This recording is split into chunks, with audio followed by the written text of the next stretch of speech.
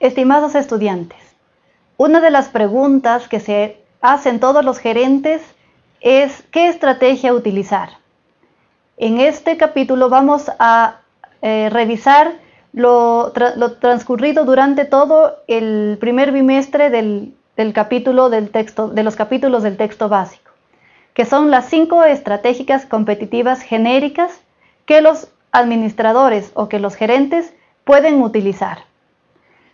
Antes que nada, deben hacerse una de las preguntas. ¿Hacia qué nicho de mercado va dirigida esa estrategia? ¿A un mercado total o a un mercado específico?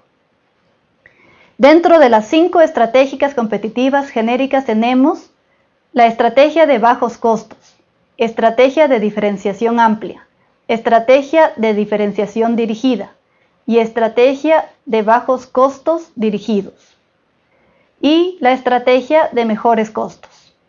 Debemos prestar mucha atención en la diferencia que existe entre, los términos costos y precios.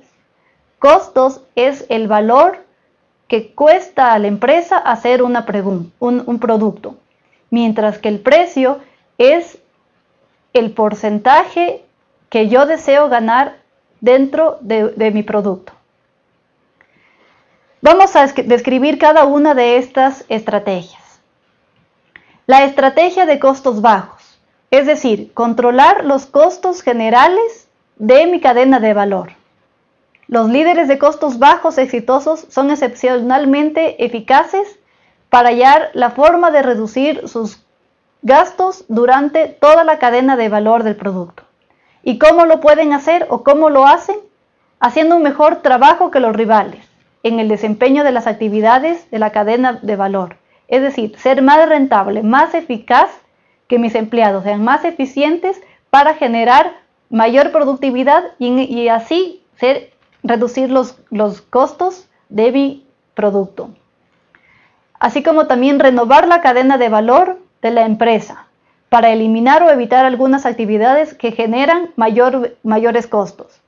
Ver en qué parte de mi cadena de valor existen cuellos de botella, existen deficiencias en los cuales yo como gerente, yo como gerente operativo, como gerente de producción, genere actividades o genere estrategias o eh, genere nuevas, eh, nuevas opciones de producción con el fin de mejorar estos costos.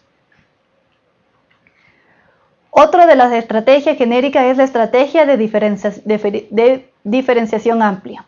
Como su nombre lo indica, diferenciación. Ser diferente a mi, a mi rival, ser diferente a mi competidor. Ser único, de forma valiosa para, para una amplia variedad de clientes. Es decir, que mi cliente me vea como su producto único y que al momento de satisfacer sus necesidades con mi producto, él lo sienta así. La diferenciación exitosa permite que una empresa pueda fijar un mayor precio por su producto, aumente las ventas unitarias y así obtenga mayor rentabilidad. Lealtad de sus clientes. La diferenciación aumenta sus ganancias siempre que el precio extra del, producto compense los costos añadidos de aquello. Es decir, que yo aumente el valor o que el producto diferenciador tenga un valor extra y que esto no lo vea como un valor alto mi, cliente, sino que él lo sienta como un valor añadido para el, para el producto que él está consumiendo. Otra de las estrategias es la estrategia de los mejores costos. Es decir, tener los mejores costos es tener más, los costos más bajos que los rivales para incorporar atributos de vanguardia, al colocar a la compañía en una posición que mejore el precio de los rivales cuyos productos tengan atributos de vanguardia semejantes. Es decir, que yo al tener mejores costos que los rivales, yo pueda también tener mejores precios que los rivales. Y los clientes muchas de las veces eh, basan sus preferencias en relación al precio. Y al poder yo bajar al precio ya que tengo costos más bajos, esto puede generar una mayor lealtad y una mayor venta de mi producto. Una estrategia de mejores costos funciona en un mercado donde la diversidad del, del comprador hace que la diferenciación del producto sea la norma y donde muchos consumidores también son sensibles al precio y el valor. Diferenciación crea mayor valor para para el cliente. Y si es que tiene un precio bueno, el cliente va a apreciarlo mucho mejor. La estrategia de dirigida o de nicho de mercado distingue las estrategias de liderazgo de bajos costos o de diferenciación amplia. Esto se refiere a un nicho de mercado y eh, a un segmento específico del mercado. La estrategia de dirigida de bajos costos pretende asegurar una ventaja competitiva al atender a compradores en el nicho de mercado objetivo con costos y precios menores que los rivales.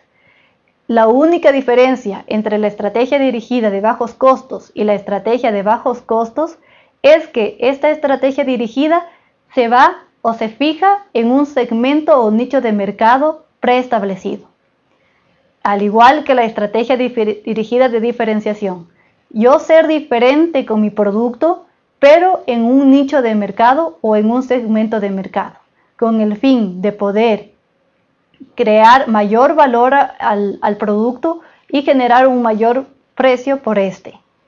Y que el cliente o los clientes vean en mi producto como, diferenciador y prefieran el producto de la empresa. Espero que con estas aclaraciones sobre las cinco estrategias genéricas ustedes puedan ya ver cuál, cuál estrategia un gerente debe utilizar dentro de su negocio. Muchas gracias.